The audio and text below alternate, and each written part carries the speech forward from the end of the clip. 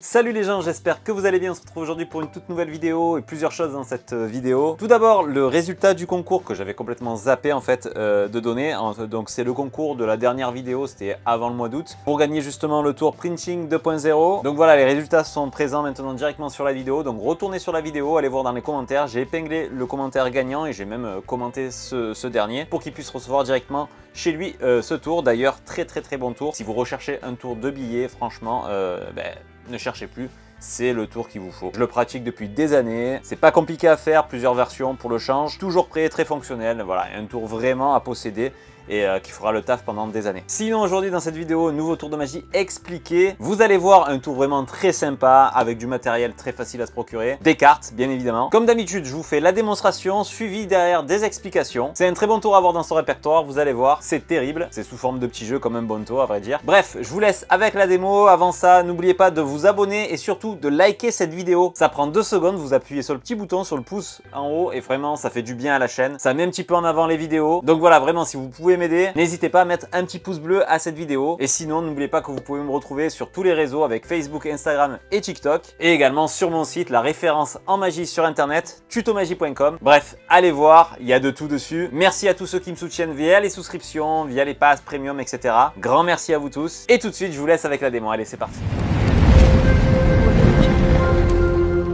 Allez, c'est parti pour la démonstration et comme je l'ai dit, c'est un petit tour qui se fait avec quelques cartes. Vous allez voir, c'est une sorte de, petit jeu, un bon tour, un truc comme ça.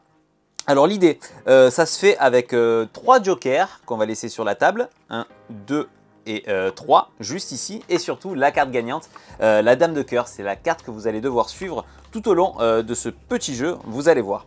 Imaginons que je prenne la dame de cœur, comme ceci, que je place face en bas, et que j'inverse les cartes en main. Et que j'égalise. La dame de cœur, à votre avis, se situe où? En dessous.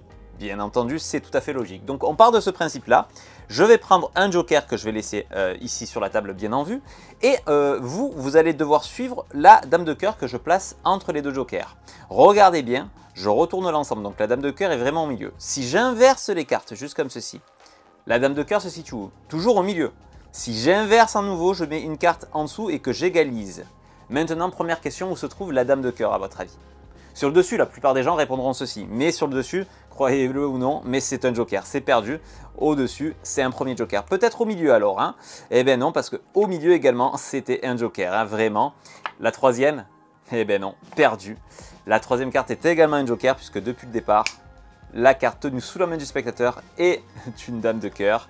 Et là, c'est le tour final. Et là, tous les spectateurs sont sur le cul en général. Allez, on se retrouve pour les explications de ce petit tour qui se fait vraiment uniquement avec 4 cartes. Alors, pas de cartes truquées, hein, vraiment. C'est juste qu'on va avoir besoin uniquement euh, de deux dames de cœur, en fait, identiques, et de deux jokers identiques. Voilà, il va falloir vous procurer deux dames de cœur ou des cartes de la valeur de votre choix, identiques, très important, que ce soit au niveau des dos et des faces, et deux jokers, hein, identiques, hein, euh, des dos et des faces. Vous placez tout simplement euh, les jokers, en fait, euh, entre les dames, comme ceci, et vous êtes prêt pour commencer. Vous, arrivez ici avec les 4 cartes en main, et vous allez étaler les cartes de cette manière pour montrer que vous avez uniquement 4 cartes. Et en ramenant les cartes en main, vous allez facilement récupérer une brisure entre les deux, qui va vous faciliter par la suite la levée double. Et vous commencez en présentant les cartes en disant en faisant une première levée double et présentant un premier joker. Vous retournez de nouveau la double, vous la posez sur la carte. En réalité, vous posez une dame. De la, suivante, c'est une carte simple que vous retournez, vous montrez un joker. Vous la retournez face en bas et vous posez. Vous pouvez même flasher si vous voulez. La troisième, de nouveau, c'est un joker, carte simple, que vous retournez et vous posez. Vous pouvez encore montrer. Et bien sûr, la dernière qui est une dame de cœur qu'il va falloir suivre, c'est la carte gagnante. Vous la passez face en l'air sur les autres cartes, vous récupérez l'ensemble et là, vous expliquez que si vous passez la carte face en bas et que vous inversez l'ordre en pelant 1, 2, 3 et 4 et que vous égalisez, à votre avis, où se trouve la dame de cœur? Les spectateurs diront en dessous et vous dites effectivement, elle est bien en dessous.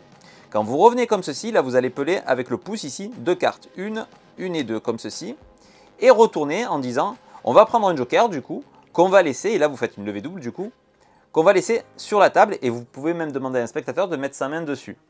En réalité, là ici vous posez euh, une dame, hein, forcément vous pouvez immédiatement retourner les cartes ici et attirer l'attention immédiatement sur la dame. Ça renforcera l'idée que vous avez bien posé un joker puisque la dame est bien en vue entre les deux jokers juste ici.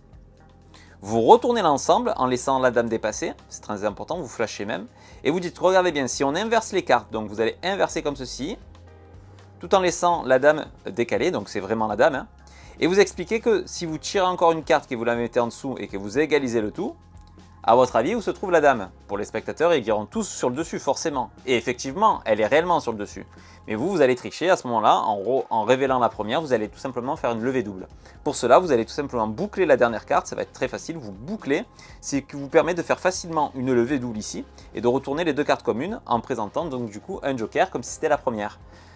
Et non perdu, donc la première, c'est un joker, vous refaites la levée double comme ceci, et vous faites dégager la carte sur la table. En réalité, là, vous vous dégagez de la dame.